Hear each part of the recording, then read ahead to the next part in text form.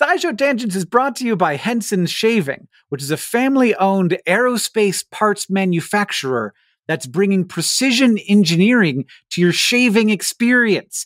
Visit hensonshaving.com slash tangents to pick the razor for you and use the code tangents, and you'll get two years worth of blades free.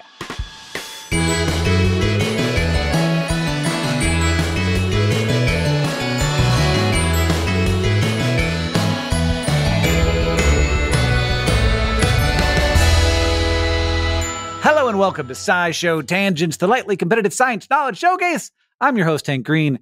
And joining this week, as always, is science expert Ceri Riley Hello. and our resident everyman, Sam Schultz. I'm back, baby. He's back, baby. All right, you two. What's your teen name? what does that mean? Ceri, just tell me and the people will figure it out. Don't explain this to them. Oh, okay, no. don't explain it. Don't. explain the- it. Everyone's favorite thing, an inside joke that no one knows. Yeah. Uh-huh. My my teen name is Mountain Dew Grape Fanta. Mountain Dew Grape Fanta is a surprise to me uh, because of how Grape Fanta is so gross. it's so delicious is the thing about it. And all cool teens know that Grape Uh-huh. Fanta is the hidden gem of sodas. Oh, yeah, and all cool teens know that Mountain Dew is bad. I don't know, actually. Maybe these days they don't like Mountain Dew. Maybe Mountain Dew is a Gen X treat. Well, I guess the other thing is I'm very I was a very uncool teen. So maybe that's It's even more appropriate for my teen name to be so counterculture um, Yeah. and just oblivious to it because I'm in my Yeah. own little bubble. Samuel Schultz. Okay, my teen name is Squirt Lime Coke. That's a little raunchy though. Yeah. Yeah, My name is- say that on the on Hello, a I'm science Squirt. podcast. Nice to meet you. That's one of those nicknames for children that sounds quite innocent, but actually isn't. Well, when it was invented, it, yes. when it was invented, it was fine. Mhm. Since then, the internet's existed, and you know, I used to be Dr. Pepper Pamplemousse LaCroix, of course. I think I've come around on Dr. Pepper, and I might be more just like straight diet Pepsi Pamplemousse LaCroix. diet is almost cheating because diet anything is disgusting. But I don't think you're right, Sam. I think a lot of people really love Diet Pepsi, and especially Uh, Diet yeah, Coke. that's like, true. I know people who drink so much Diet Coke. that's true. And I think mo- maybe more people like Diet Pepsi than real Pepsi. Who likes real Pepsi? Show of hands. Sorry to. Pepsi. The only time Do I you really? up- yeah, Yeah, they're real. You're the- I think Pepsi tastes better than? Coke. if so, if you're at a restaurant and somebody says Coke is, we don't have Coke. Pepsi's okay. You go absolutely. I love Pepsi. Even and better. then they Yeah. kick you out of the Like, restaurant. I'm thrilled. That's just a social experiment. You're not supposed to say yes. Ceri, you have you have said so many things that have shocked me uh, just about your sort of like your li- the way that you perceive the universe differently from me. My perception of I beverages pref- specifically. I prefer Pepsi is really throwing me for a loop. Every week here on SciShow Tangents, we get together to try to one up, amaze, and delight each other with science facts and also teen names, which we still didn't explain to you. And I guess we're just not going to. I don't even know if you can watch the thing that explains what it is. I don't know if you can. There's probably clips. I bet there's Yeah. clips. Just search Just teen Google it. yeah. Our panelists are playing for glory, but also for Hank Bucks, which I will be awarding as we play. And at the end of the episode, one of the you people will be crowned the winner. Now, as always, we're going to introduce this week's topic with the traditional science poem, this week from Ceri. A central quest of being human is to somehow delay death, and today mm-hmm. that has turned into an avoidance of bad breath. Is there something more innate that's going on behind the scenes, or does culture dominate all of our rise and shine routines? It seems that the root of hygiene is fighting off disease by wiping up or washing hands off after you have sneezed. There is something biological, behavioral in genes. Ants and cats and birds and apes all take the time to preen. But then there are subjective things like shaving off your hair. Is it for bugs or social pressures that shape what we bear? Mammals cleanse their fur of dirt or grime that leaves a sheen, but how much soap or elbow grease even counts as clean? So when it comes to hair or skin or teeth and caring for you best, a part of it is science, but then we make up the rest. Mm, we just make up the rest. It's the topic of the day is hygiene, which th- I- what you're saying is th- I probably do more than I need to. is what I'm hearing, and I'm going to take that to heart.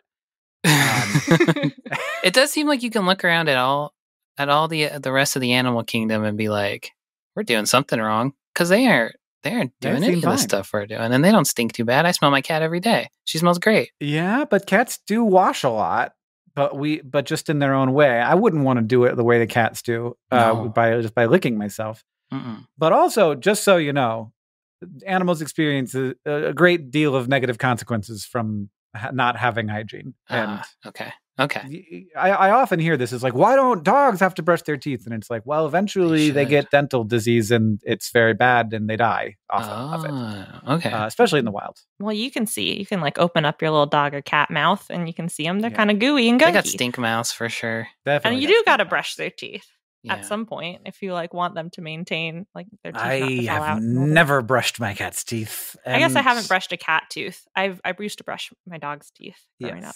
I wouldn't. I'm scared to go in there with the cat teeth. Pointy They're and little small. needles. Yeah, I was recently told that it was kind of cool for my cat. Like cats biting is just like part of you know fun and play, and so I should just let it, let him do it. Oh, But like, no, who told you that? Did a cat tell you that? I don't remember. Did your cat tell you Yeah. that? it was just cats on a podcast, Yeah. yeah, pretending to be people. Probably what it was. It's fun. Just play Mhm. with your cat.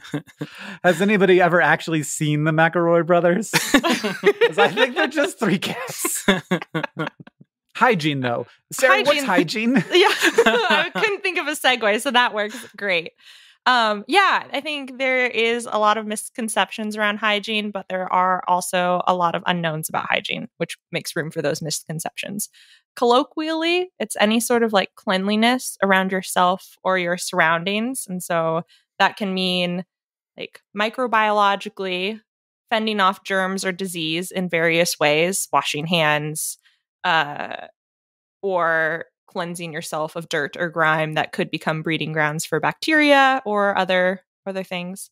Medically or societally, it can mean sterilization of equipment or like water or sanitation systems, waste disposal systems. But then I think a lot of times when people talk about hygiene, they're talking about like morning routine stuff. So, um, do you bathe or do you like wipe your butt when you poop? Or Hmm. uh, are you modifying your keratin in some way? Are you like cutting your hair or trimming your nails? Um, are you brushing or flossing your teeth? And then and, and like those in general have a relation to medicine. Um, in general taking care of Hmm. yourself in those ways can reduce the chance of abrasions or um, infections or or whatnot. But then also layered on top of that are like societal or cultural pressures for hygiene and what is hygienic in one society can vary or not like some cultures encourage beard growth and maintenance in some ways some cultures Right. are like clean shaven That's- is more hygienic Yeah. um, different smells are considered more or less hygienic. Uh, like deodorant is a fairly recent invention and Mhm. push to society, um, and Uh-huh. covering it up with perfume or or other like artificial or concocted scents, as opposed to like having natural body odor.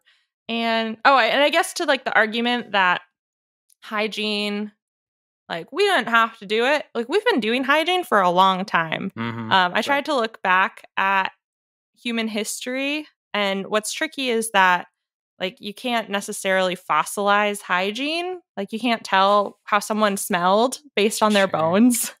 Uh, like those aren't those aren't stinky Hank bones. Those are fresh Hank bones.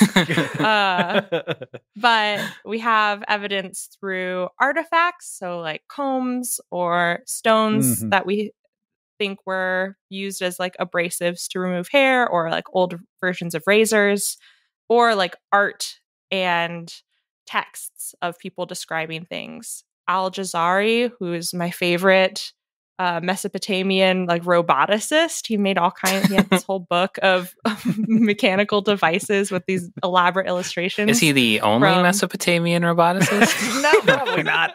okay. Probably not, but he's the famous a- guy. Okay. yeah, I mean, there's a bunch now. Um, Yeah, sure. Yeah, that's true. But in in older times, uh, in like the, you know, just people living in that part of the world, yeah. People also living- working with robots. Yeah. yeah, yeah, yeah. he did it. He did it like a couple thousand years ago, um, and he designed like an automaton for ritual hand washing, like a Mm. peacock little Oh. spout or things like that. So Interesting. In the Bible, they're they're always Yeah. anointing people with oils, putting and they're washing each other's feet. the hand washing thing is like robot is interesting to me, I guess, because I know about like the doctors who are like, "Hey, you don't gotta wash your hands. Don't worry about it." Is that just like something that we had gone back and forth on, or were they washing their hands because they were sticky? Then germs were another thing that we didn't think about yet. I guess your hands have always been getting Yeah, sticky. You're eating honey point. all the time, probably. One you of the know, Mesopotamian foods. foods. yeah, probably. little figs. I think Uh-huh. we went back and forth on it. I think a lot of earlier hand washing, from what I have gathered, was more intuition based. So, like, something disgusting happened and I must cleanse Right. myself. my hands stink. Or- yeah. yeah, I'm Yeah. stinky. I got to fix that. Or there was a lot of association with, um, like, you can't use unwashed hands to pray at an altar in various religions, or uh-huh. a, a lot of like religious significance or spiritual significance. There was a lot Right. of like, you must wash before you interact with a sacred object. And that was probably because when people didn't wash their hands, they got sick. Yeah. And so then there was some Everybody's at the correlation between unwashed hands and, and the then- devil. yeah. Um, Mm. sure. But then I think to cross over from religious intuition or personal intuition into scientific practice, there was yeah. a level of doubt of like, well, why? That, why are you why are you making this do this? that makes sense. So, and I assume that the word hygiene comes from just the guy named Gene, and we just like say hi to him at why He's all the guy who washed your feet. Hi, Gene. while we do our teeth. Yeah, yeah. Mhm. exactly. He's the- yeah, he's the he, he foot did your feet. He did your hands. He's Um, it was super in- from a guy super into feet of. and hands. It's from- from the Greek word hygiene, uh, which is the healthful art, from Oh. hygeis, uh, which is healthy or sound or hearty or living well.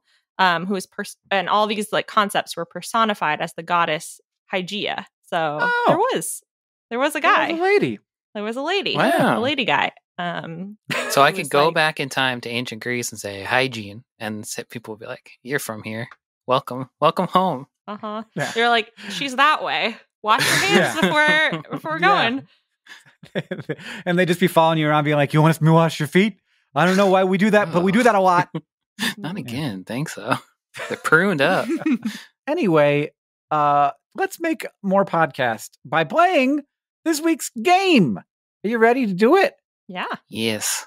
Humans are always finding new and interesting ways to approach our grooming, and going through history shows us all sorts of examples of our hygienic ingenuity. So today we're going to be going back in time to revisit some of those developments with a game of the scientific definition. I'm going to name some kind of item to you, and you're going to have to both describe to me what you think that item is, and whoever comes closest to the actual answer, as judged by me, wins. Word number one phrase number one, thing number one is the mustache spoon. I feel like Oh. I'm at a disadvantage having never had a mustache. I don't know if I Sam has ever had a can't. mustache. I Sam's never had a mustache. Oh. Well, okay, I've- Hank. You don't know me. You never known me my whole life. But that is true, sadly. I tried to grow a mustache at the beginning of the pandemic, much like many people did. Didn't work out. Mhm. That was a safe time to try to grow a mustache because you don't, nobody was seeing you. You had a mask on all the time. Nobody was seeing you. It's great. But I cannot, confirmed, cannot. I tried for months. Didn't work. Anyway. so my facial hair is, is finally growing back after chemo, and the I swear that I have way more facial hair than I did before treatment. Oh. And I'm like, should I try and grow it out and see if I have facial hair now? I think you should grow a mustache for sure. The mustache spoon. Maybe it's not even have to do anything with the mustache, but it probably does. I bet it gets boogers out of your mustache. Because I bet you out. get, I don't know, maybe you get boogers in a mustache. I would be worried about that. Okay, a mustache spoon. I think it is. I like. this is a real stretch of my empathy. I can't imagine what it's like to have a mustache. I'm gonna say it is something you use to like apply. So instead oh. of Oh. removing something, you applying something like like how you apply beard oil. You apply oh, A mustache or oil with a mustache Yes. spoon, and it's I just like like, a little tiny guy that you're like. dee-dee-doo, dee-dee-doo. All right. I think that though you're both wrong, Ceri is closer because Oh. the what the there the thing is being is going in, not coming off. 'Cause Okay. The mustache spoon was designed to help men with large mustaches eat food without getting Oh. dirty. so obvious. It's so literal. Yeah. So literal. It was very common in the Victorian area in many countries for men to have big, elaborate mustaches, but that, of course, Yeah. comes at the cost. Uh, eating was particularly perilous. If they were consuming something hot, the wax holding their mustache shape in place might melt. Oh worst no! of all, they could end up with food in all of their facial hair. So they had the Oh. mustache spoon, which was a spoon with an added piece of metal called a mustache guard. And the guard was set above the bowl of the spoon so that as the user bought, brought the spoon to their mouth, the guard would prevent anything from touching the mustache. Uh, and in addition to mustache spoons, there were mustache cups that featured various guards to protect the user's mustache from hot tea or other beverages. You could also not slurped. You could have just gone like like here comes the airplane. Ah, oh, and then that's it. up. No true. no sipping, nothing tilting none of into your mustache at all. Tea These were- too. just These were ah, fancy times. Yeah, just drink about, your tea though. like the, the guy from the man show with two beers. Yeah. Like, oh, the Oh. guy from the man show. he probably had a mustache. y'all remember that? God, I I'm old. I'm still old, you guys. I'm just as old as I was at the beginning of the podcast, a little bit more even. Mhm. Uh, all right, the man show. Uh, word number two is, is sphagnikins. What? Sphagnikin? Sphagnikins. Mhm, Sphagnikins. Wow. Would you pass that Sphagnikin? Hey there. Nice Sphagnikin you got there. I'm trying to like test it out, see the taste of the word. Um, applied makeup. I'm gonna say it applied makeup of some Applies sort. makeup. You apply makeup Yeah. with a sphagnikin. I do think it's like some sort of like napkin Mhm. Oh shoot! or Yeah. something like that. I'm going to say it's like to wipe off a seat before you were going to sit. It's like Mm. a a specific handkerchief, a high Yeah. heavy duty handkerchief where you're like, I'm I'm going to do something. I'm going to sit here, wipe it off with a sphagnikin. Sam, just for clarity, you're still on makeup, right? Yeah, I know it's a butt thing, Okay. but I'm still on makeup. it's not a butt thing, okay. but that might have gotten you closer than Ceri. But Ceri, certainly with a heavy duty napkin, has has got it because it was a, an early commercial feminine hygiene product, which Mm. gets its name from Mm. one of its main materials, which is sphagnum moss. I don't know if you know about sphagnum, That- but it's a moss and it's Yes. absorbent. Uh, has a lot. So uh, prior to the development of sanitary napkins, people who menstruated would use pieces of cloth to absorb the fluids. Instead, the first disposable product for menstruation was sold in 1896 by Johnson and Johnson. So they were up to it even back then, but it didn't sell particularly well. The creation of better surgical dressings during World War One led to the creation of better menstruation products as well, including the Sphagnikin, which was created by uh, the Sphagnum Moss Products Company. Just like, what do we Love do that. with this moss? I just got to come up with more We got- ideas. we got so much damn Um, moss. A sphagnum moss can absorb more than 20 times its dry weight in fluid and also has antibacterial properties. As a Oh. sanitary napkin, the moss was wrapped up in gauze and sold with safety Hmm. pins that you could use to attach it to undergarments. The package featured a girl dressed up in a uniform similar to those that Red Cross nurses wore. Ultimately, Sphagnikins didn't sell that well, though, losing out to Kotex and its cotton equivalents that showed up in the market around the same time. I think the marketing strategy was wrong. I think you don't dress them up as a little nurse. You dress them up as a little like forest gremlin. Little bog like, you want to be one with nature? Use moss. of course, you're not going to win with cotton if you have a little nurse. You have to lean into your Mhm. demographic of a lady who crawling loves out of the swamp. Yeah. Yeah. Okay. Well, Ceri's killing it so Yeah. far. And our final word, uh, word number three, is a beard token. I I'm probably going to lose this one, but it popped into my head and I love it.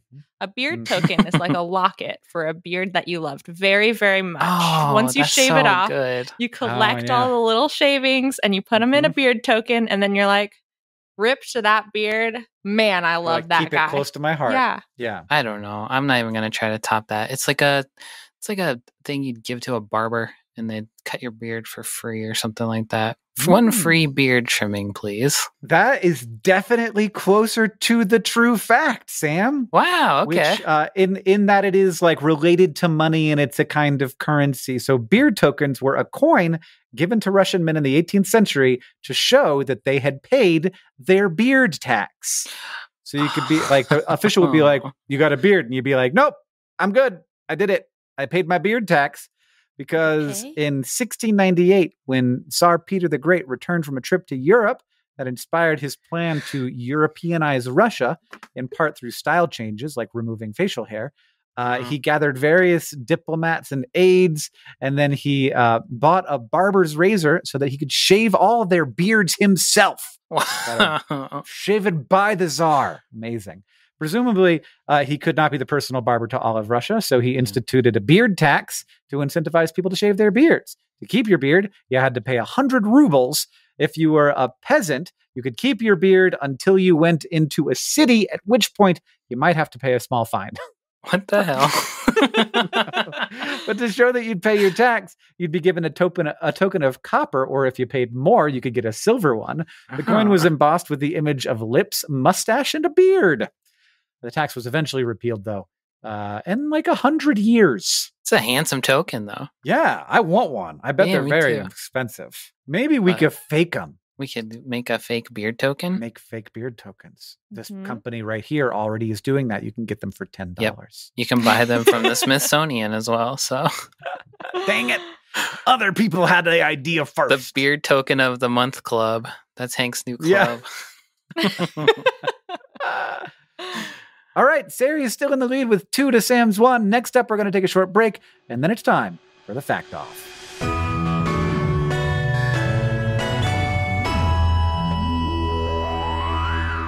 SciShow Tangents is brought to you today by Henson Shaving. I am a beard shaver, and as such, I got to tell you, shaving can be not fun. You can go to the store and get some cheapo razor that's going to clog it up with every swipe and go dull almost instantly, or you get a subscription razor and be stuck with a razor that only takes like one kind of razor head, and it might just clog up and go go dull too. Then what are you going to do? And ouchie, your poor face, dull razor, no good. Well, my friends, let me tell you about Henson Shaving. It's a family owned aerospace parts manufacturer. They've made parts for the International Space Station, for Mars rovers, and now they're making parts for your face. They're bringing precision engineering to your shaving experience. Bad shaving isn't a blade problem, it's an extension problem. Razor blades are like diving boards. The longer the board, the more wobble. The more wobble, the more nicks and cuts and pulls and scrapes. And by using aerospace grade CNC machines, Henson makes metal razors that extend just 0.0013 inches, which, if that sounds pretty small, that's because it's pretty small. It's less than the thickness of a human hair. And that means a secure and stable blade and a wobbleless shave. And the razor features built in channels that make clogging virtually impossible. Even better, the Henson razor works with standard dual edged blades that you could buy any old place uh, to give you an old school shave using new school tech. Once you own a Henson razor, it's only like three to five dollars per year to replace the blades. Henson Shaving wants to make the best razor, not the best razor business, which means no plastic, no subscriptions, no proprietary blades, no planned obsolescence. That's wild. Who would do that? Only a madman. Uh, look, I shaved with a razor from Henson for this very episode. Look Oh, how smooth. Am I silky smooth? Baby bottom smooth? Absolutely. The thing that I really like about it is that there's no plastic handle. There's no nasty little plastic cartridge that gets all gunky and you have to throw away every few weeks. It's all metal, baby. So it's helping me cut down on my plastic consumption, which hosting the show has made me very anxious about. It's time to say no to subscriptions and yes to a precision engineered razor that will last you a lifetime. Visit hensonshaving.com slash tangents to pick the razor for you and use code tangents and you will get two years worth of blades for free for, with your razor. Just make sure that you add them to your cart. That's 100 free blades when you head to hensonshaving.com slash tangents use the code tangents.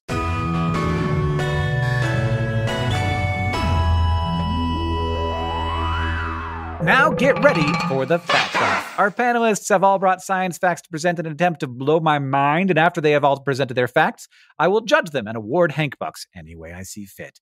But to decide who goes first, I have a trivia question. Fish can't just rely on the water all around them to keep them clean. Sometimes they need help removing ectoparasites on their bodies or bits of diseased skin. Luckily, in the ocean, there are small fish that help with that problem. These fish occupy small areas called cleaning stations that other reef fish can show up to for inspection.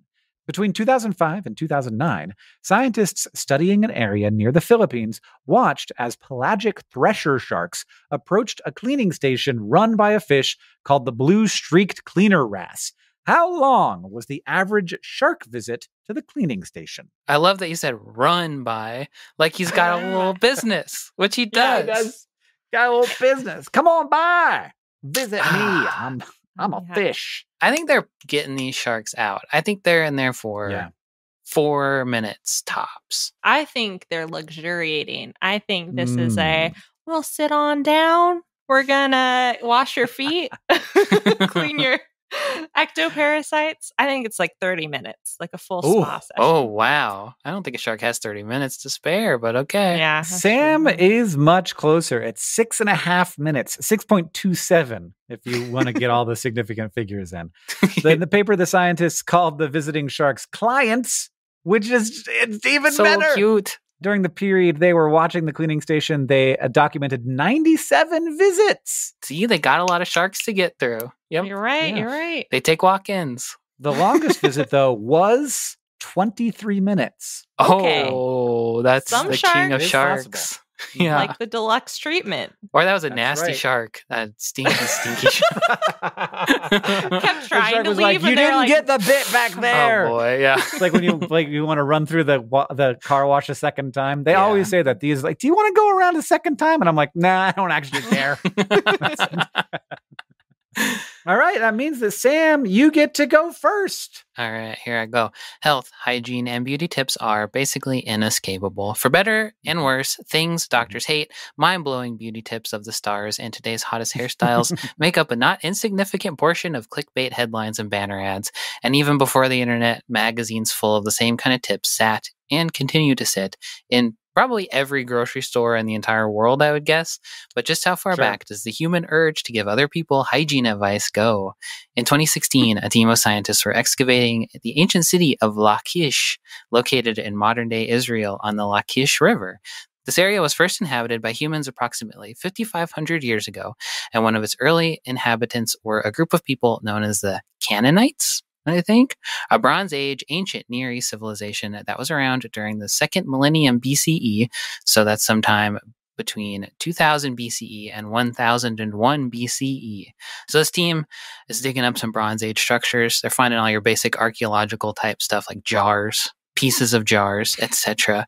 But they also found a little ivory comb, which, as we have maybe mentioned at some point, I don't think we ended up doing it. Combs aren't that uncommon an artifact, I assume.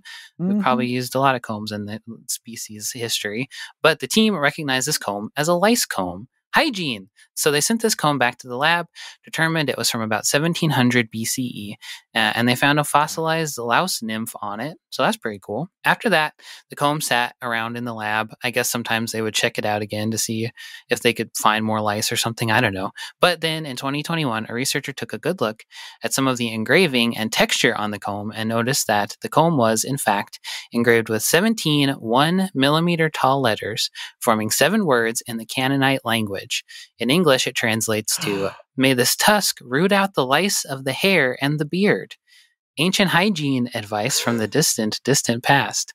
But uh-huh. here's what you got to know about the written Canaanite language. It's thought to date back to enslaved and lower class people of ancient Egypt who weren't allowed to or able to learn the large and complicated hieroglyphic writing system used in Egypt. But eventually they were like, mm. oh, we need a way to write our language down. So they adapted a few select hieroglyphics into symbols which translated into specific sounds, thus creating what many researchers consider to be the original alphabet from which the Latin alphabet descended from.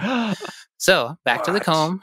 Archaeologists have found examples of Canaanite writing on other artifacts in ancient graffiti, uh, and they've been able to piece together the language uh, from those and other ancient documents about the Canaanites. But this comb was the first time a full sentence from a primary source written in the Canaanite language was found, which also makes it most likely the oldest sentence that we've ever found wow. written in an alphabetic script. And much like uh, the magazines and click clickbait of today is giving unsolicited hygiene advice. So, you know, things haven't really changed that much if you think about it.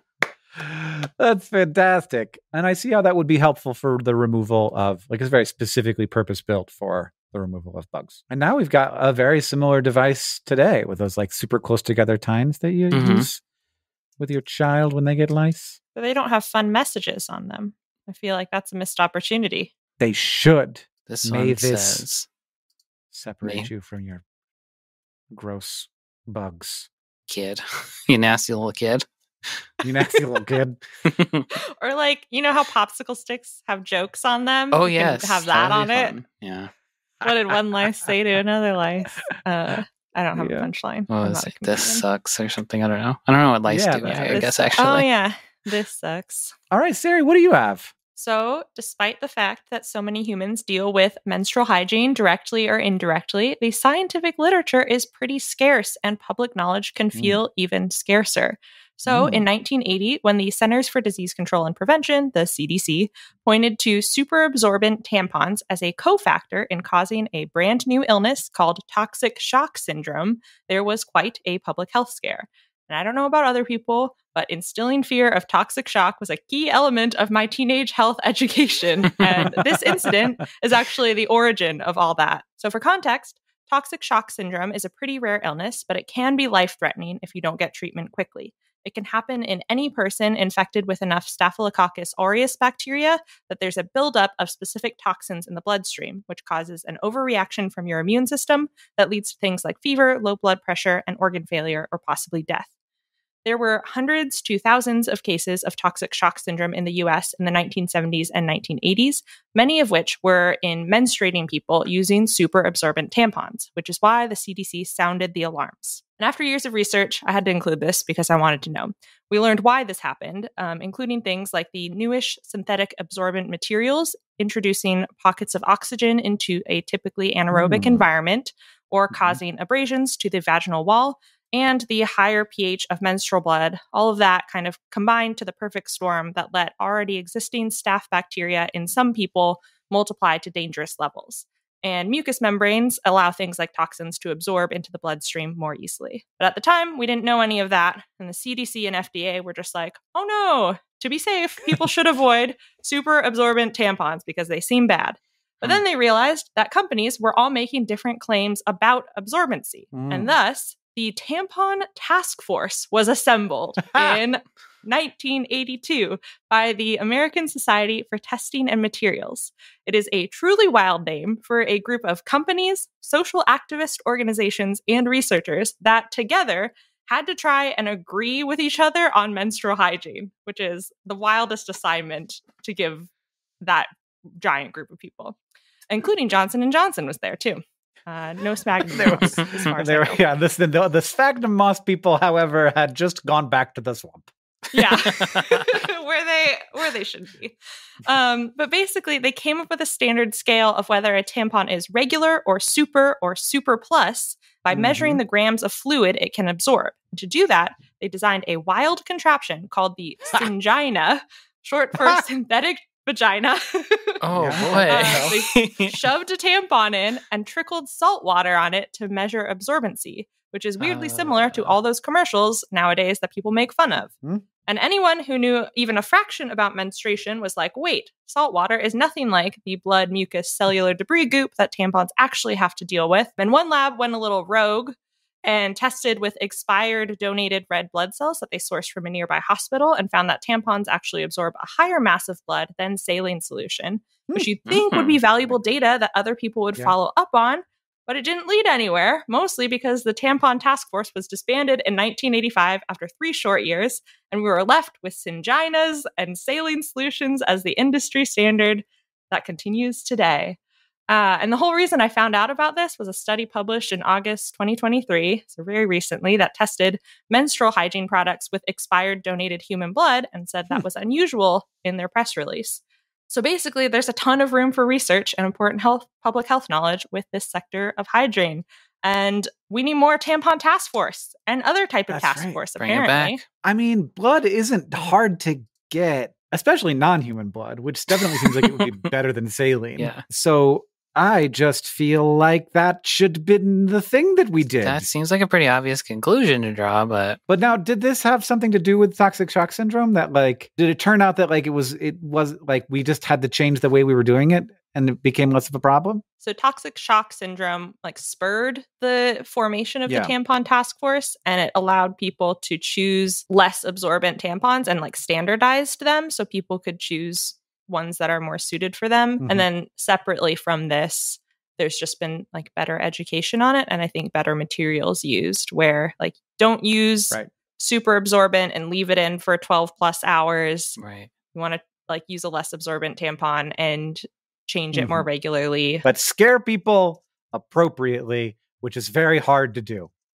Yeah. Scaring people appropriately is so hard because there's a bell curve of scared. Then, in order to get everybody to appropriately scared, you have to push a lot of people into too scared.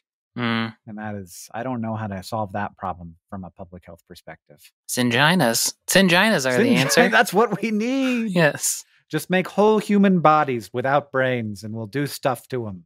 That's not bad. To- totally ethical and good, Hank.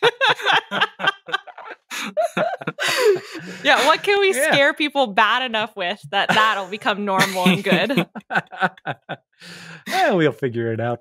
Oh, I have to choose a winner. Hmm. it's a weird gesture. I have It to, made sense to me. yeah, Yeah. just Yeah. let it let the truth the truths flow through me.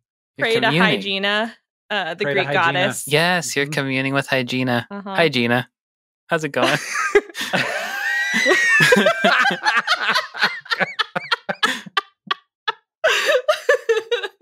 God damn. Okay, I I think it's wild to me that they that this is so new and that we have so recently. I mean, this is both quite new, but that we have so recently found the first ever sentence, and that it's related to hygiene. Ah, that's got to be the winner. That's got to be the winner. And I think that it puts Sam over the top. I was gonna say I think it's not the first. It's the first sentence in an alphabetical thing. I think there's probably a yes a different dialect or a different writing Yeah. system that has it early. But Yes, yeah, you are. it's correct. our first sentence. for in our alphabet and something Yes. related to our alphabet, which is dope. All right, now it's time to ask the science couch, where we've got a listener question for our couch of finely honed scientific minds. Luca Luke on Discord asks, "How bad or not bad is aluminum in deodorant or antiperspirant?" If it's bad, it's very hard to tell. Mm. Uh, we have not found a lot of evidence that it's bad. Uh, and that usually indicates that if it is bad, it's very a little bit bad. But I, I actually don't know well enough to stay that, say that with any confidence. Very, you don't know. You can't say very a little bit bad with any confidence. Is that what I said? yeah, yeah, that's what I mean, though. You know what I mean. I think Yeah, I do. you I do. hit the nail on the head. Anyone coming to tangents for a clickbait headline answer is going to get eh, sometimes vary a little bit uh, as the answer for sure.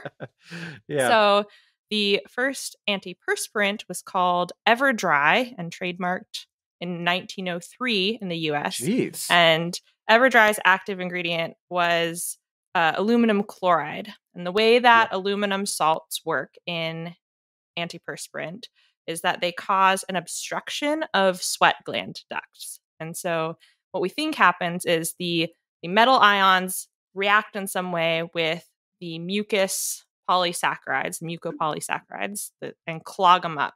Um, and they Hmm. kind of damage the epithelial cells, the skin cells around the glands. And they form like a gooey plug that blocks sweat output for a given amount of time. like, it seems like something you shouldn't do, is Mhm. how I feel. It's like the body's normal function. Let's stop that from Plug happening. up. and that and that was like the main anti sentiment when antiperspirants first came out was that blocking Right. sweating sweating is natural blocking sweating is unhealthy And I think that kind of snowballed into even after we found formulations that let the aluminum salts exist. And the three big ones that like people are worried about with these aluminum compounds in antiperspirants are cancer, uh, specifically breast cancers, because mm-hmm. um, you're applying antiperspirants in many cases to armpit area Mm. But there hasn't been any convincing evidence or consistent evidence that antiperspirant or aluminum compounds from antiperspirant collects in breast tissue,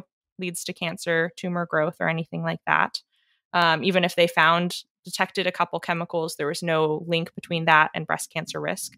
The second one was Alzheimer's because in the 1960s, a couple studies were finding um, levels of aluminum in the brains of people with Alzheimer's disease. And people just made the connection of like, oh, there's mm. aluminum in brains. Oh, there's aluminum in antiperspirant. So um, there was a lot of fear and other studies in the 1970s and onwards. The findings, like no findings were replicated that aluminum and antiperspirant could make its way to the brain in any way uh, or mm-hmm. has anything to do with neurodegeneration. It kind of stays goopy in your sweat pores and that's it. And then same thing with the, the third one was kidney disease. So um, there were there were concerns when dialysis patients were given a drug called aluminum hydroxide to help people control high phosphorus levels in their blood, and then their kidneys um, couldn't remove the aluminum fast enough. But taking a a drug orally is very different from like rubbing something on your skin with your sweat glands. Um, and mm-hmm. they're two very different. Like aluminum hydroxide is very different from aluminum chloride or other compounds in antiperspirants. Mm. Again, the aluminum that you rub on your skin or get into your sweat glands, like once that mucus or the dead skin or whatever you're doing to clog up your pores gets excreted and you sweat again, it kind of washes its way out. So um, oh, according yeah. to dermatologists, as far as I have read, I tried to investigate these as thoroughly as I could. Um, there isn't really anything, but but I think it's rooted in this idea that it's unnatural to block your sweat and oh metal chemicals around our body. Uh oh. Um, yeah. Which I don't know is always is always like really complicated when you're communicating health and medicine. Like I I'm poking a little bit of fun and maybe being a little bit mean because I know our audience is also like trust science, but I yeah. think this can be really scary for people who don't necessarily understand um, and hear messages like aluminum in my deodorant could be bad for me in my brain, right? Um, or could cause yeah. cancer. It is remarkable though how good we have gotten at like you hear about like an increase in the chance of cancer and it's much smaller than it sounds. But like epidemiologists are looking at how do you, they're looking at like a hundred people per hundred thousand, you know? And it's like, how do you get that to 99 mm. is what they're thinking, or 97 or 95. But eat fiber, eat healthy, exercise. We know what works. We don't have to do fad diets. It's been the same fad diet forever. eat less sugar, eat plants, eat protein. That's it. Fiber. There should be fiber in the food. This is what my doctor was telling me yesterday. Um, it's like you need to be healthier now because you're you got all this shit wrong with you because we poisoned you. And I'm like, what does that mean? And he's like, just eat. You know, it's what it sounds like, man. But what about the what about the Cadbury eggs you find on the ground, Hank? I don't know. YouTube just sent me a bunch of Pringles. Great. anyway, let's end the episode. If you like the show, you want to help us out, super easy to do that. First, you go to patreon.com slash scishow tangents, become a patron, get access to our newsletter, our bonus episodes, and big news, we have hit 700 patrons on the Tangents Patreon, which means we're going to be doing our Minions commentary. I don't know when. Gonna do it. Get it's ready to hear a whole lot about piss. If that sounds good to you, be sure to join our Patreon at any level to get access to that commentary as soon as it's released. Second, leave us a review wherever you listen. That's very helpful. It helps us know what you like about the show. And finally, if you want to show your love for SciShow Tangents, just tell, tell people, people, about, us. us. We'll see you next time for our first episode of our annual Trick or Treat Month of surprise guests. But for now, thank you for joining us. I've been Hank Green. I've been Ceri Riley. Uh, and I've been Sorry, I, I panicked. I was like, am I next? SciShow Tangents is created by all of us and produced by Sam Schultz. Our associate producer is Eve Schmidt. Our editor is Seth Glicksman. Our story editor is Alex Billow. Our social media organizer is Julia Buzz Bazzaio. Our editorial assistant is Deboki Chakravarti. Our sound design is by Joseph Tuna-Medina. Our executive producers are Nicole Sweeney and me, Hank Green. And of course, we couldn't make any of this without our patrons on Patreon. Thank you, and remember, the mind is not a vessel to be filled.